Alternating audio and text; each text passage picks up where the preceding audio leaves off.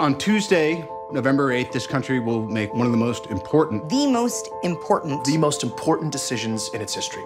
and the only way we can prove that to you is by having lots of famous people. Lots of famous people. Lots and lots of famous people. Just a ton of famous people. repeating how important. Important. Important. Important. Important. Important. How important it is.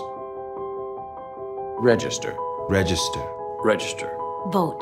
There's so many famous people. But you only get this many famous people together if the issue's One that truly matters to all of us. a disease or ecological crisis or A racist, abusive coward who could permanently damage the fabric of our society.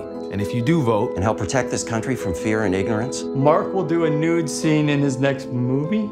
Mark Ruffalo. Mark Ruffalo. Mark Ruffalo will do a nude scene in his next movie. Wait, what? What? Mark will do a nude scene. Mark's gonna have his gal. full Monty. Full Marky. No, no, no.